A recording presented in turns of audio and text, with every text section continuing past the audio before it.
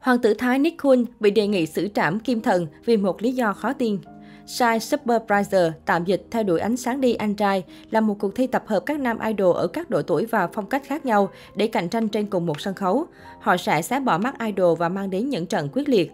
Cuối cùng sẽ chọn ra một nghệ sĩ đại diện cho tinh thần luôn tỏa sáng trong bất kỳ hoàn cảnh nào để trở thành đại sứ từ thiện của quỹ từ thiện Alibaba. Đội hình tham gia mùa 2 với sự xuất hiện của ngôi sao hoa ngữ Trương Vệ Kiện, hoàng tử Thái Nick Kun cùng 19 nam thần khác, hứa hẹn sẽ gây sốt cộng đồng mạng thời gian tới. 21 nam nghệ sĩ trong đội hình bất tử sẽ xuất hiện hoành tráng trên sân khấu để thể hiện tài năng, sự chuyên nghiệp cùng tình yêu dành cho nghệ thuật qua những bài biểu diễn được dàn dựng ấn tượng và đầy bài bản.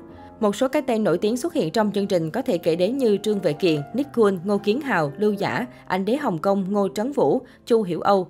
Theo đuổi ánh sáng đi là cách để chương trình gợi nhắc về tuổi trẻ tỏa sáng của những nam thần hoa ngữ 6X đến 9X.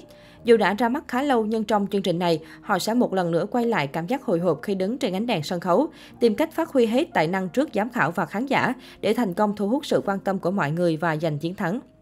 Chương trình không chỉ thu hút sự quan tâm của khán giả là tuổi tiên, mà hơn hết còn có lứa tuổi 8X vì sự xuất hiện của minh tinh Trương Vệ Kiện, người từng làm mưa làm gió trong thập niên 80-90 qua các bộ phim truyền hình nổi tiếng.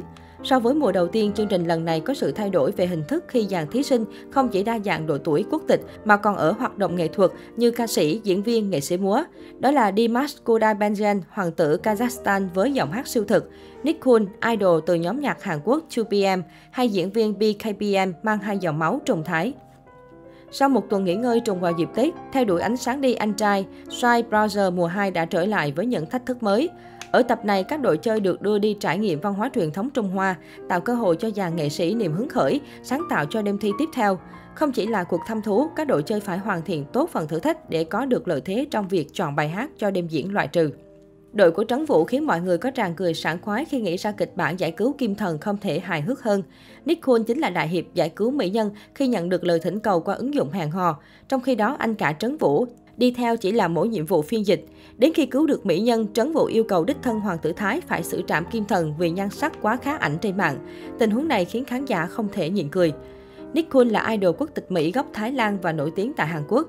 Thời điểm ra mắt cùng 2PM, ngôi sao sinh năm 1988 được xem là ca sĩ ngoại quốc thành công tại xứ sở Kim Chi.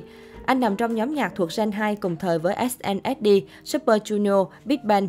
Đây là giai đoạn K-pop phát triển mạnh, sức hút của idol lan tỏa toàn châu Á. 2PM nói chung và Nick nói riêng tạo được dấu ấn nhất định. Lúc mới debut, thành viên nhóm 2PM được người hâm mộ gọi là Hoàng tử Thái. Vẻ đẹp thư sinh đối lập cơ thể săn chắc giúp nam ca sĩ được nhiều fan mến mộ. Đến khi xuất hiện trong We Got Married game show hẹn hò dành cho người nổi tiếng cùng Victoria nhóm FX, hai ngôi sao càng chứng minh sức hút. Từ Hàn Quốc, nam ca sĩ tấn công sang thị trường châu Á. Năm 2012, anh về Thái Lan, lần đầu đóng phim truyền hình Seven Something. Những năm sau, Nick Hun tham gia phim One and a Half Summer, Forever Young Trung Quốc, The Kidachi Cash File Nhật Bản. Tên tuổi của anh vượt xa biên giới Hàn Quốc, tạo dấu ấn ở nhiều làng giải trí lớn của châu Á. Vốn là người Mỹ gốc Thái, Nick Kun gặp khá nhiều vấn đề trong ngôn ngữ. Mãi đến năm 2016, sau thời gian tập luyện và nhuần nhuyễn tiếng Hàn, nam ca sĩ tự tin đóng vai chính đầu tiên trong phim truyền hình Hàn Quốc. Tham gia Magic School, tuy không tạo được tiếng vang lớn nhưng diễn xuất của nam idol 32 tuổi được khán giả công nhận.